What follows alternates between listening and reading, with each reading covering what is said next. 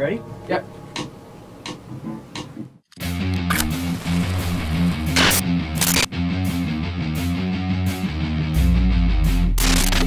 Now, I rarely communicated verbally, but I never failed to get my point across using my favorite language images. And the reaction to my art is mixed. It's either, wow, that's amazing, or what kind of acid trip are you on? It is a rare occasion when people see my work as beautifully ugly.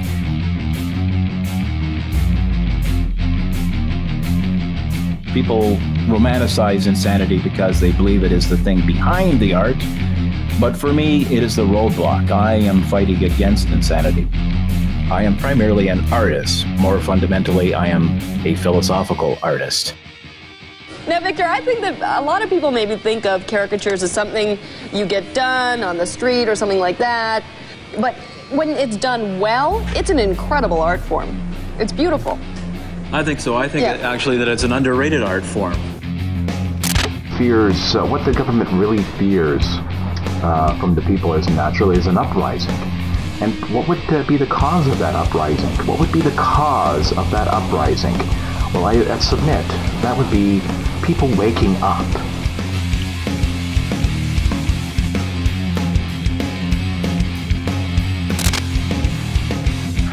the government is just another faith system. You know, God has been dislodged from the throne. Now we place the state as the secular God.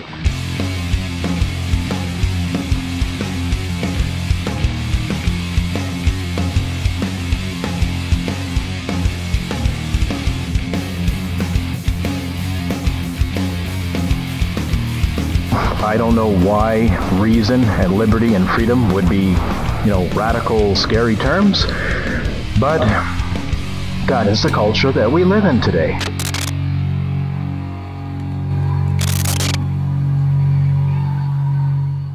Do people become like I mean, uh, people that you've done, and have they have they seen your work, and are they good natured about it? Are they sensitive? Am I going to hit you when I see mine? well, I hope not. Artists' work seem to increase in value once they're dead, so